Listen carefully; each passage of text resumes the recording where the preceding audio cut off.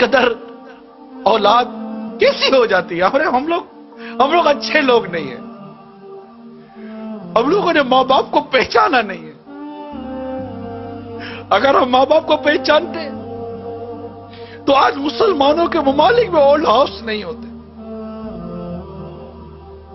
बूढ़े माँ बाप वहाँ पर अपने औलादों को देखने के लिए तरसते नहीं। आज बूढ़े माँ बाप तरसते शादियाँ करवा देते कि औलाद अलग हो जाए। मगर ये शादी के बाद बीवी बच्चों की मोहब्बत में इतनी गुम हो जाती है कि इसको माँ बाप की कदर मंजिलत नहीं रहती माँ बाप का अदब एहतराम बाकी नहीं रहती। इनकी खुशियाँ बाकी नहीं रहती। कभी कोई चीज़ माँ बाप के लिए ले भी नहीं जाते कि, अब्बा, ये आपके लिए लाया हूँ।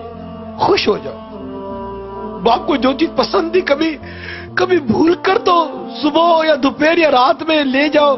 अब्बा पूछे, बेटा, कैसे है अब्बा, जान, ये मैं बाज़ार से निकला था, मैंने देखा आपको बहुत पसंद है, मैं आपके लिए लाया हूँ।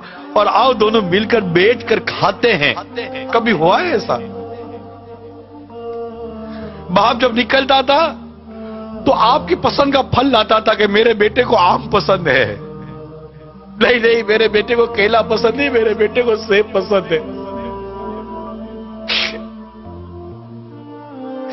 आज माँ बाप के आगे ठंडा खाना रख देते हो। और माँ बाप उस दिन को याद करो जब बेटा कहता था, अम्मी, आज कढ़ाई खाने का जी चाह रहा है। माँ की तबीयत ठीक हो या ना तुम कढ़ाई पका कर खिलाती थी। होटल थी वो माँ को बावर्ची नहीं थी। नहीं अम्मी ये पसंद नहीं है मैंने आज अंडा खाना है। इसके लिए ये अंडा बनाया मेरे लिए वो अंडा बना कर दो। तुम्हें दो दो किस्म के अंडे बनाकर तुम्हारी माँ खिलाती थी। आज तो घर का सामान लाते हो तो बीवी बच्चों के लिए छुपा कर लाते हो माँ बाप देख ना ले। कि माँ बाप ये सामान देखेंगे तो कहेंगे, बेटा कहाँ से लाए हो?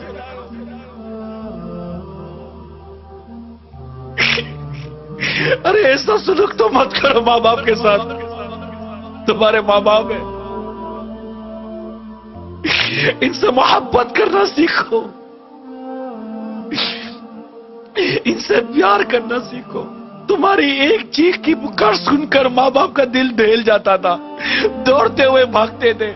आज बूढ़ी माँ बिस्तर से गिरकर उल्टी पड़ी हुई है। तुमको उठाने की फुर्सत नहीं है।